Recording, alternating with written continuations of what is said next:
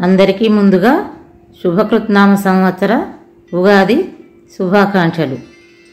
సిరి వంటలు అండ్ పాటలు ఛానల్లో పాతకాలం నాటి వంటలు సాంప్రదాయ మంగళహారతులు అన్నీ ఉన్నాయి. సెర్చ్ చేసి చూడగలరు. Hi friends welcome to my channel Siri వంటలు అండ్ పాటలు. ఈరోజు నేను సింపుల్గా చేసుకునే ఒక స్వీట్ చేస్తున్నాను. చూడండి కేసరి బాత్. ఈ కేసరి బాత్ కోసం నేను అన్నం వండుకొని రైసే తీసుకున్నాను. బాస్మతి రైస్ అయినా తీసుకోవచ్చు.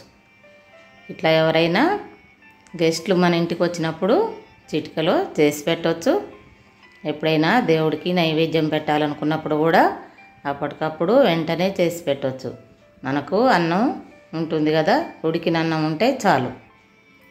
కేసరి బాత్ కోసం ముందు అన్నం వండుకోవాలి. మనకు ఎంత స్వీట్ కావాలనుకుంటే అంత అన్నం ఇట్లా వండుకోవాలి. అన్నం వండుకున్న తర్వాత అది పక్కన పెట్టుకొని స్టవ్ మీద ప్యాన్ పెట్టుకుని నెయ్యి వేసుకోవాలి ఒక రెండు స్పూన్లు. నెయ్యి వేడైన తర్వాత మనకి ఇష్టమైన డ్రై ఫ్రూట్స్ వేయించుకోవాలి సిమ్లో ఉంచి. చూడండి డ్రై ఫ్రూట్స్ వేయించేటప్పుడు సిమ్లో ఉంచి వేయిస్తే మాడకుండా ఉంటాయి మంచిగా వేగుతాయి. నేనైతే కాజు కిష్మిష్ బాదం తీసుకున్నాను. మనం హైలో పెడితే వెంటనే పొంగుతాయి కానీ కిస్మిస్ కిష్మిష్ వెంబటే మాడిపోతాయి. ఇట్లా వేయించుకోవాలి నిదానంగా. ఇప్పుడు బాదం వేయించుకోవాలి. పిస్తా కూడా వేసుకోవచ్చు. నేను ఈ మూడే వేస్తున్నాను. ఇందులో ఒక స్పెషల్ ఫ్లేవర్ లవంగాలు కూడా వేసుకోవాలి. మనం ఏ స్వీట్లలో లవంగాలు వాడాం కదా ఇందులో లవంగాలు వాడతాము.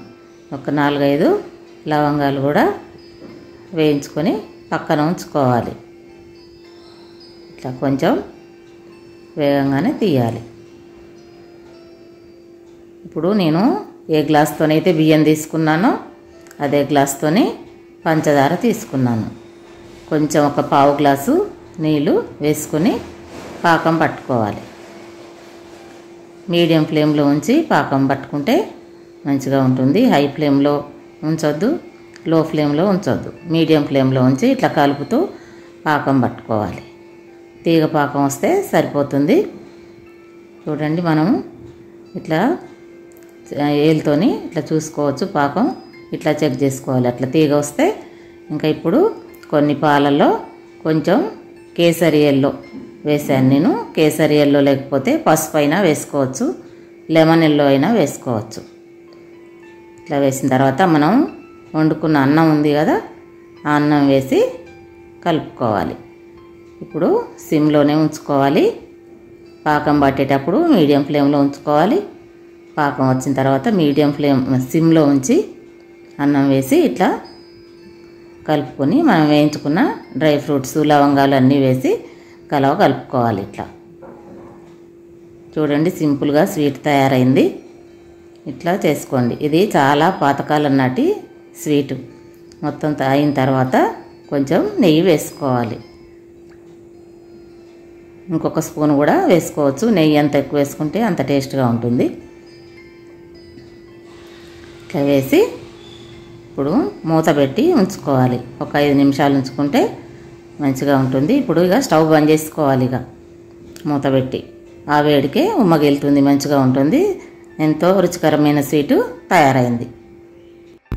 చూసిన వాళ్ళు లైక్ చేస్తే ఎక్కువ మందికి రీచ్ అవుతుంది. Thanks for watching